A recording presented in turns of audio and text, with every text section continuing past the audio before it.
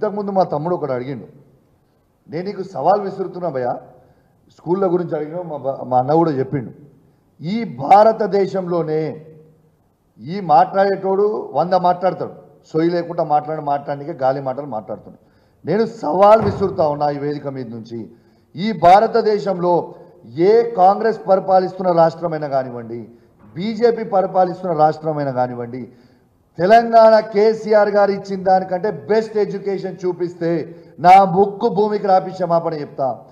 భారతదేశంలో ఎక్కడ లేని విధంగా వెయ్యి గురుకుల స్కూల్ వెయ్యి గురుకుల స్కూళ్ళని నిర్మాణించి ఒక్కొక్క విద్యార్థి మీద లక్ష ఇరవై ఐదు వేల రూపాయల ఖర్చు పెడుతుండు. ఇలా కేసీఆర్ గారు మాత్రమే. దాని ఇన్ఫ్రాస్ట్రక్చర్ నేను ఛాలెంజ్ చేసి చెప్తున్న భయ కమలాపూర్లో కూడా మా దగ్గర గురుకులం స్కూల్లో ఉంది. Any international school you take either you take Indus you take Aga Khan you take Srinidhi international school or NJP school is on par with any international school in this state or in this country this is the truth of life నువ్వు మాట్లాడంగానే ఏదో అయ్యేది కాదు కదా. ఇలా నేను నీకు చెప్తున్న బ్రదర్ నా కాన్స్టిట్యున్సీ నుంచి సీట్లు అన్నీ ఆన్లైన్ అయినాయి. నేను దాదాపు రెండు వేల మందికి లెటర్లు ఇచ్చిన సీట్లు ఇవ్వమని ఎంత డిమాండ్ ఉంది? One is to hundred demand ఉంది ఇలా పరిస్థితి.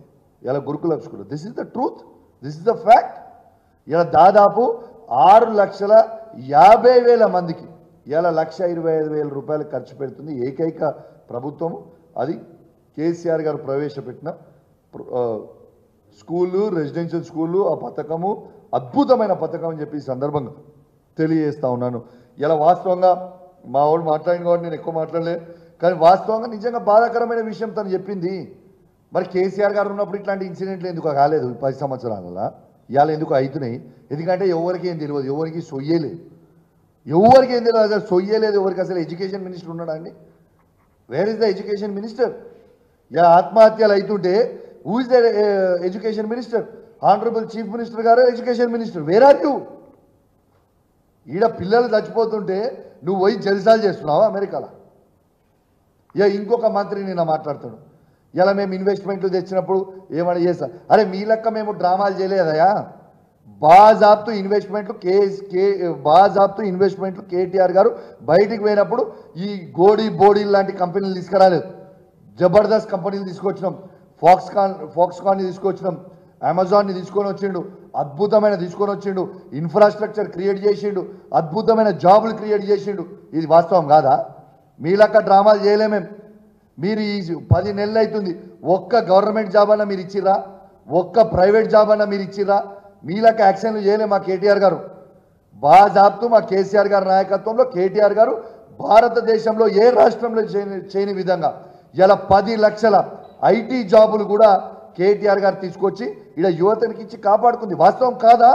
మీరు వాస్తవం మీరు అబద్ధాలు చెప్పి మీరు ఏదో ఉప ఉపన్యాసాలు ఇచ్చి బోర్డు ఉపన్యాసాలు ఇచ్చి యాక్షన్ చేస్తే యాక్షన్ అయిపోతుంది ఇది is is not the truth ఇలా జనాలు నవ్వుకుంటారు మొన్న కేటీఆర్ గారి ఇంగ్లీష్ మీద ఒక కామెంట్ చేసింది ఈయన ఏంటిదో ఏంటిదో కామెంట్ చేసింది నవ్వుకుంటారు ఆ ముఖ్యమంత్రి గారిని మీద?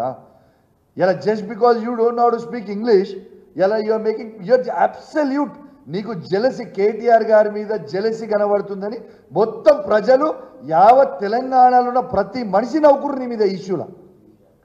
ఇది నిజం కాదా ఇది? అసలు తెలంగాణ కాదు ప్రపంచం మొత్తం నవ్వుకుంది. ఇలా కేటీఆర్ గారు ఎంత అద్భుతమైన పేరు తెస్తా ఉన్నారు ఇలా ఎంత అద్భుతంగా మాట్లాడతారు. నువ్వు నీకు ఇంగ్లీష్ రాకపోతే ట్యూటర్ని పెట్టుకొని నేర్చుకొని ఆయనను చూసి ఈర్చపడకు ఇంకా ఆయన కంటే ఇంకా మంచిగా చేయాలనేది నేర్చుకో. ఇంకా మంచిగా మాట్లాడు ఇంగ్లీష్. నీ నీ నీ ఇంగ్లీష్ చూసి దేవుడా దండం పెట్టాలి డావోస్లో ఒక్కొక్కడు ఉరికిండు. ఈ పరిస్థితి చేసుకొని వచ్చిండు కాబట్టి నువ్వు కేటీఆర్ గారి మీద ఏడిసి ఏడవకు. దయచేసి కేటీఆర్ గారి మీద ఏడుచుడు బంద్ చేసి. కేటీఆర్ గారు దిగిపోయారా బాబు. కేటీఆర్ గారు ఇప్పుడు ఒట్టి ఒక ఎమ్మెల్యే. కేసీఆర్ గారు కూడా దిగిపోయారు బాబు. ఇప్పుడు ఎమ్మెల్యే ప్రతిపక్ష నాయకులు మేము మేము అంతే. ఇక నువ్వు ముఖ్యమంత్రి అయినా మీ ప్రభుత్వం వచ్చింది. మా మీద ఏడుచుడు బంద్ చేసి. నువ్వు ఏం పని చేస్తావు పని చేయని చెప్పి సందర్భంగా తెలియజేస్తూ సెలవు తీసుకుంటాను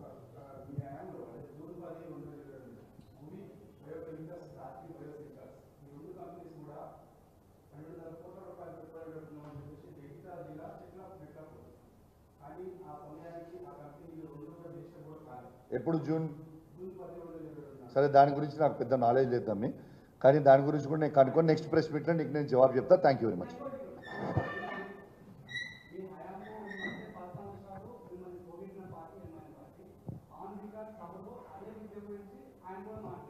ఇగో భయ్య అక్బరుద్దీన్ గారు అంటే నాకు కూడా చాలా గౌరవం.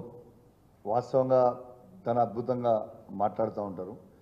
అదే అక్బరుద్దీన్ గారు కూడా అసెంబ్లీ సాక్షిగా ఏం చెప్పిండంటే అసలు ఈ భారతదేశ చరిత్రలోనే ఎక్కడ లేని విధంగా అద్భుతమైన మైనారిటీ స్కూల్ పెట్టించి మహిళలను కూడా ఇలా చదివిస్తుండు కేసీఆర్ అని చెప్పిండు అదే అక్బరుద్దీన్ గారు. నువ్వు చరిత్ర చూసుకో. దాంట్లో చూసుకో. సరే తనకి కొన్ని అప్లికేషన్లు ఉంటే ఉండొచ్చు. ఆవిడ అప్లికేషన్కి ఏదో వాళ్ళకి కృషి చేయడానికి అంటే అనొచ్చు. కానీ చరిత్ర చూడండి. అదే అక్బరుద్దీన్ గారు కూడా అదే మైనారిటీ స్కూల్స్ ఈ భారతదేశంలో కూడా మళ్ళా చెప్తున్నా ఏ రాష్ట్రంలో కూడా కేసీఆర్ గారు చేసినట్టు చెయ్యలేదు అని అదే అక్బరుద్దీన్ గారు కూడా చెప్పిండ్రు. అదే చెప్తా ఉన్నాను. Thank you very much